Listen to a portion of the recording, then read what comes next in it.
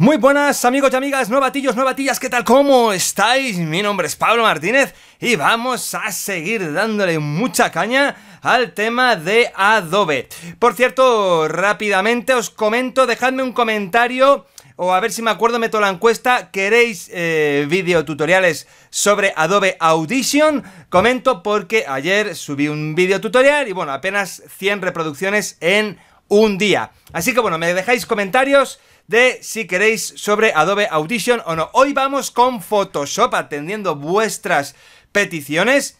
Y bueno, vamos con algo bastante sencillo, pero que es bastante efectivo. Y esto es el tema de la fusión de las capas. Las opciones de fusión. Cómo podemos hacer que una capa se mezcle con la otra, las formas de hacerlo, los distintos efectos y el grado de fusión que queremos entre una y otra. Bien, para ello yo voy a abrir un proyecto de 1280 por 720, ¿vale? Aquí me dice las funciones 3D y algunos filtros, no, eso, olvidémonos de eso, que no lo vamos a utilizar.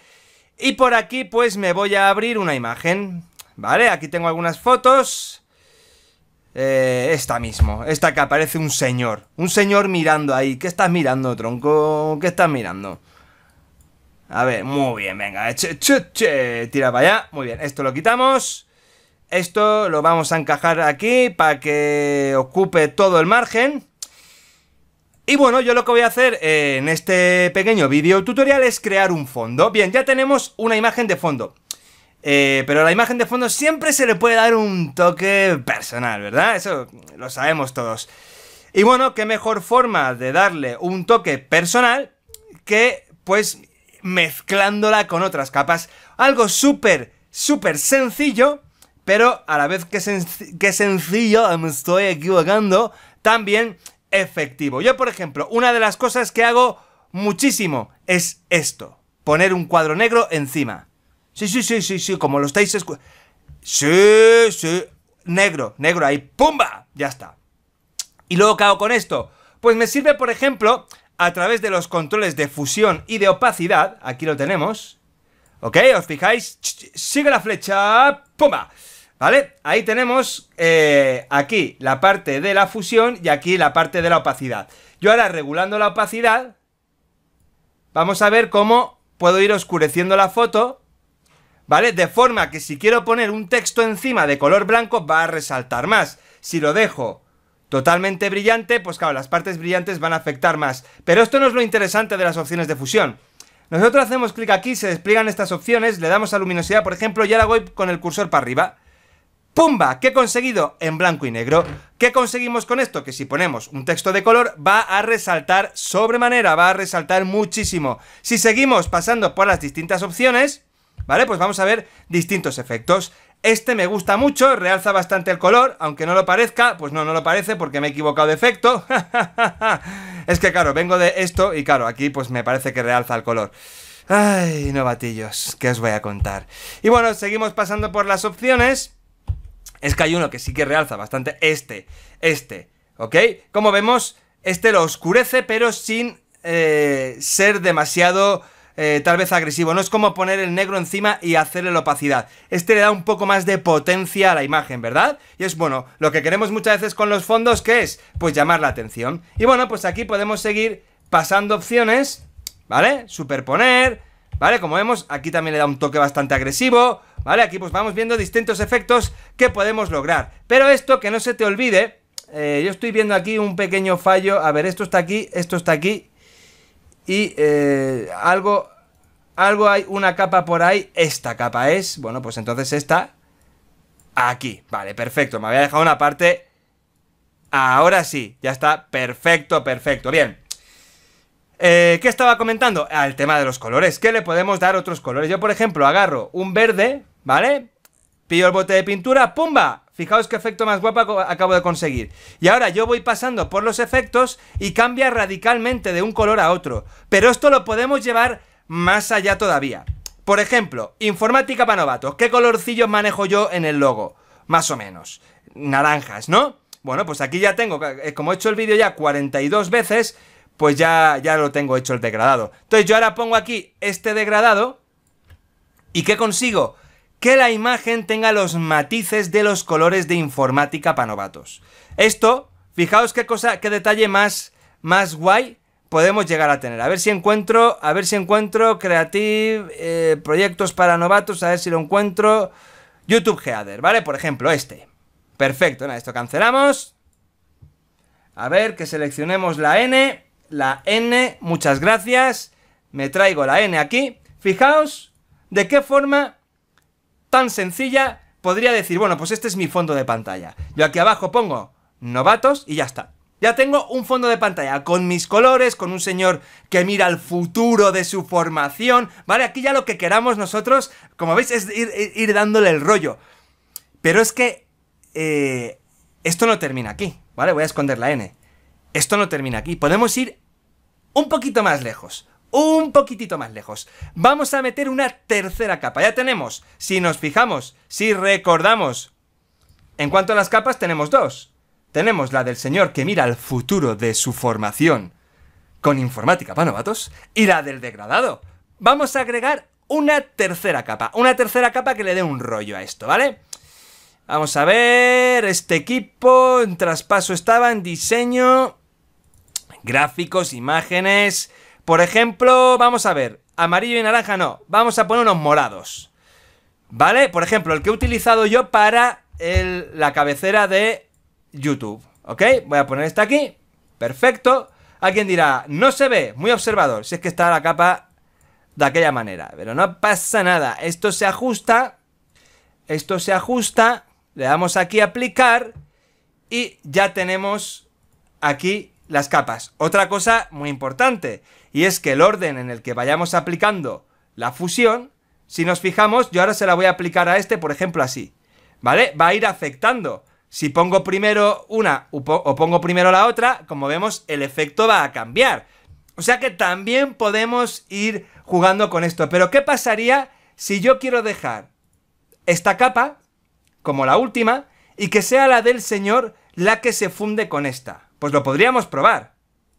Le damos aquí, ¡pum! Ya tenemos un toque. Ya podemos ir combinando todo. Fijaos, en un momentito, qué rollo le hemos dado al fondo colorido, qué tal. Oye, no, es que yo quiero otros colores, no pasa nada. Vamos a seguir jugando con la fusión de la capa del hombre este. ¿Vale? Vamos a ver, vamos a ver.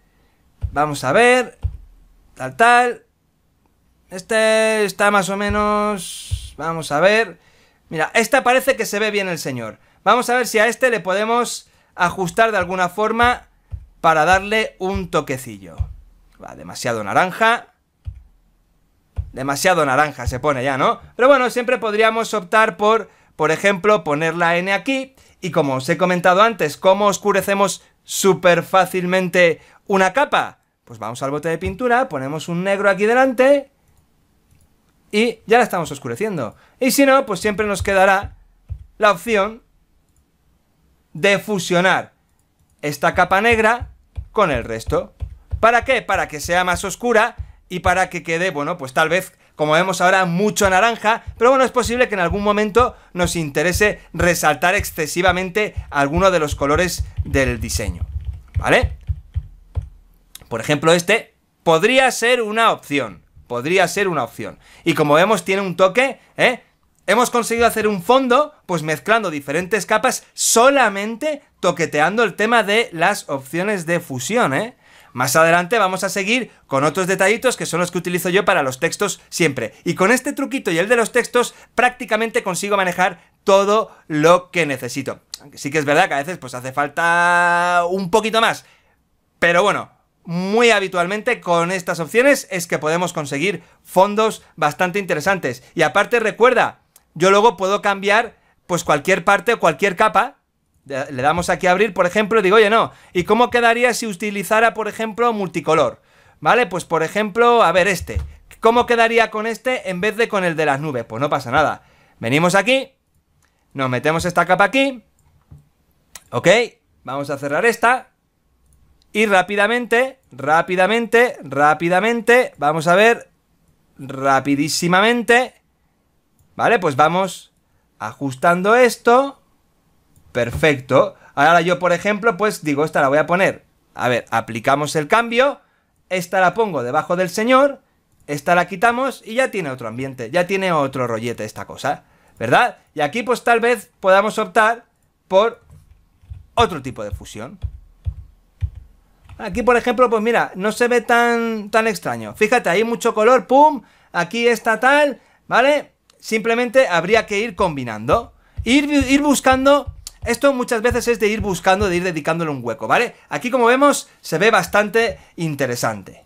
¿De acuerdo? Este el superponer, pues no sé, lo podríamos poner tal vez así, lo, le damos un poquito, ¿vale? Y aquí la N pues resalta mucho. Pero a mí esto la verdad es que muy pocas veces lo suelo utilizar, ¿vale? Porque mata bastante eh, el diseño o mata bastante el color de la imagen. Y a veces, bueno, pues no es eso lo que, lo que queremos. Y esto, bueno, pues sería ir probando. Oye, Pablo, tío, es que está muy naranja todo.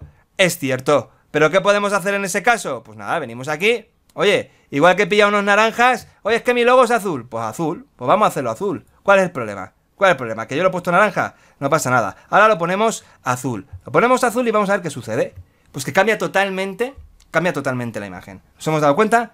¿Eh? Yo puedo poner esta, puedo quitar la otra. ¿Eh? Esta incluso le podemos quitar un poquito de opacidad para que no se vea tanto. Y ahí tenemos el señor mirando eh, al mundo lleno de humo. Y con esto me despido. Simplemente me he querido alargar, he querido seguir probando para que veáis que dependerá mucho de cómo combinemos las capas, de qué fusión pongamos delante de cuál, de la opacidad, eh, que veamos que cambiando una imagen o cambiando esto podemos darle un sentido totalmente distinto a un diseño que en un principio puede estar muerto. Que está claro que cualquier diseño que salga de mis manos pues no va a tener mucho futurillo.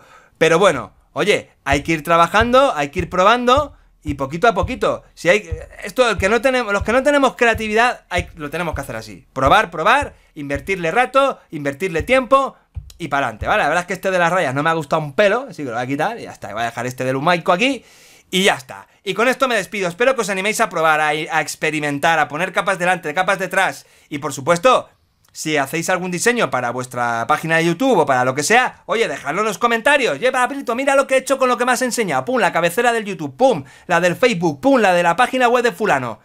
Y que se note, bueno, pues que esto sirve para algo. ¿De acuerdo, amigos? En el próximo vídeo sobre Photoshop vamos a empezar a trabajar un poquito el texto, a ver cómo podemos darle al texto un toque así un poco más interesante que cuando lo ponemos ya en letras negras o letras blancas. Así que atentos al canal, suscríbete, dale a la campanita, porque si no, no batillo, no batilla, te lo vas a perder. Y no te lo querrás perder, ¿verdad? Así que nos vemos en la cajita de comentarios y recordad lo de Audition. ¿Queréis más vídeos de Adobe Audition o lo dejamos para otro, para otro año? Un saludazo, un fuerte abrazo y estupendo final de día o principio, fin de semana, lo que sea. Nos vemos, novatillos. Hasta luego.